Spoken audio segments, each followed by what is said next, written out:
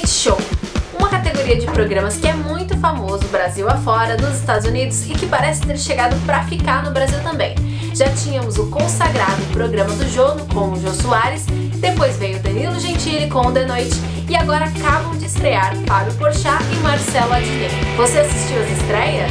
Porchat ou Adnet? Qual dos dois você prefere?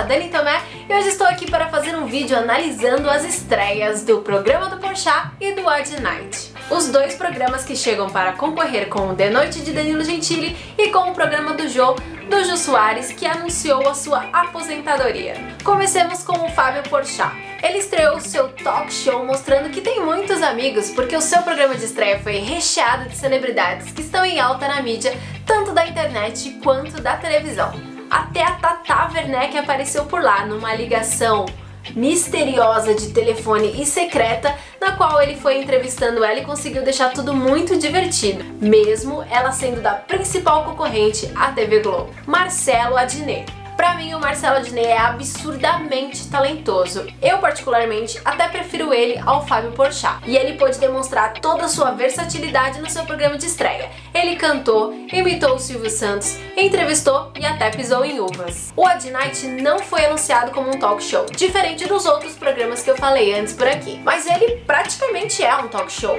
Tem mesa para o apresentador, sofá para o convidado, banda e tem aquela caneca com aquele líquido misterioso. Aliás, o meu sonho é ser convidada para participar de um programa desses para finalmente descobrir o que que tem naquelas canecas. Enfim, o programa tem todos os elementos de um típico talk show.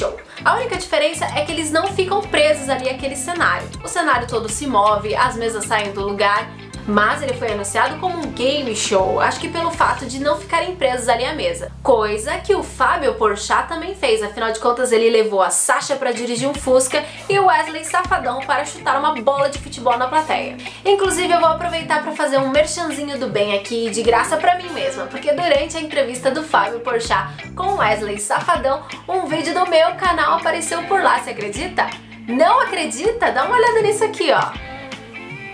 Se você quiser entender do que, que eu tô falando, é só clicar no link que eu vou deixar aqui também.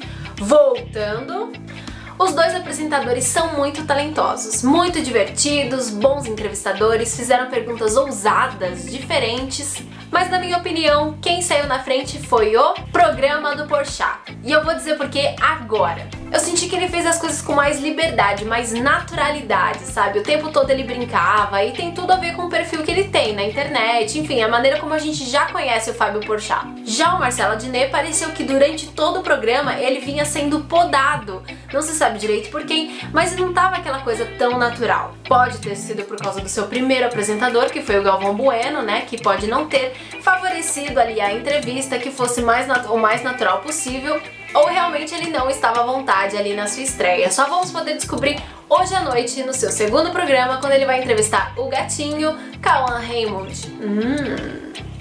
Já o Porchat manteve a mesma naturalidade tanto no primeiro programa quanto no segundo, no terceiro, né? E isso fez com que eu preferisse o programa do Porchat, pelo menos até agora, né? Bom, esses dois programas estão apenas começando, a gente ainda não sabe quem é que vai tomar o lugar aí no coração da audiência. Eu acho que podemos esperar muitas coisas novas e diferentes vindo por aí e vamos descobrir se a audiência terá um novo queridinho depois da aposentadoria do Jô ou se a audiência vai se dividir entre todos esses apresentadores que estão chegando aí para movimentar as madrugadas da televisão brasileira. Inclusive a TV Globo é a única que está indo meio que na contramão de tudo isso, né? Enquanto o SBT está com Danilo Gentili, a Record com Fábio Porchat, ela vai colocar o Pedro Bial para substituir o Jô num talk show da madrugada ou eles estão bem loucos, né? Ou eles estão aí lutando por uma audiência diferenciada, um público diferenciado. Só o tempo vai dizer se vai dar certo ou não, não é mesmo? Qual que é a sua opinião sobre essas estreias e sobre essa nova movimentação aí da televisão? Você tá gostando, não tá gostando? Deixa aqui nos comentários, eu quero saber o que, que você achou das estreias aí de Porchat e Adnet. Aproveita e deixa aqui o seu like nesse vídeo, que é muito, muito importante pro canal, ajuda a gente a crescer ainda mais. E é claro, se inscreve no canal também, clicando nesse botão vermelho que tá aqui embaixo em algum lugar. Me segue nas redes sociais que eu também vou deixar por aqui e a gente se vê no próximo vídeo. É isso aí, valeu? Tchau!